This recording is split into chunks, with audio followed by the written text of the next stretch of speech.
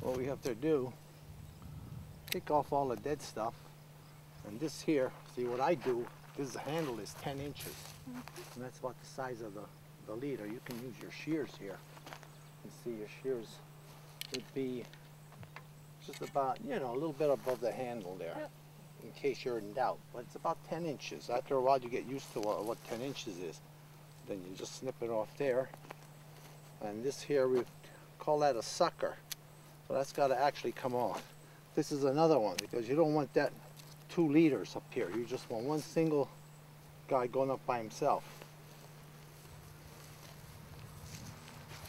And then when you do, you might try to make this as a Christmas tree taper.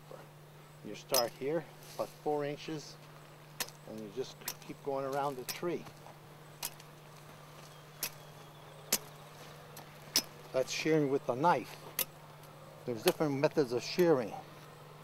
This is one. It's called knife shearing. And then, of course, the other method is what he has here is the, the uh, shears. And uh, normally, if, if you shear a hedge, you use a shear this way. But for shearing Christmas trees, turn it upside down. And you always have this one here because this takes out the suckers, takes out any, you know, branches you have to take care of. So again here, we want to take this guy out here because he'll be the leader's competition. This one here, again, we cut it down to 10 inches. And uh, then again, like with the knife, we go right around the tree and just take off the long growth and try to make it a Christmas tree taper.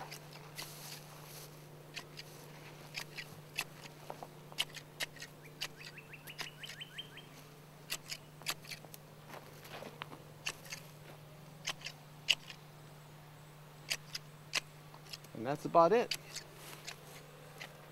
You always stand back and just take a little look at it and see if you got what you're looking for. You got that nice Christmas tree taper. Right? Now, it's your turn. You pick a tree here. That's your tree to trim. See if you know uh, what to do now. Okay, that's good. You got the sucker out. Now you take your take your leader. There you go.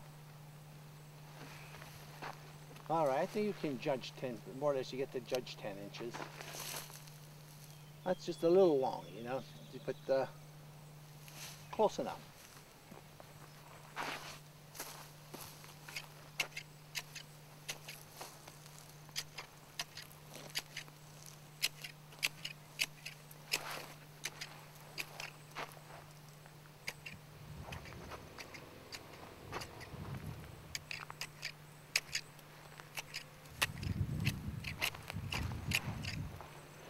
Stay until the new growth. Don't you don't want to get back into the old growth unless you have to.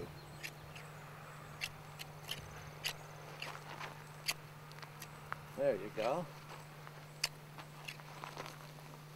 That looks pretty good.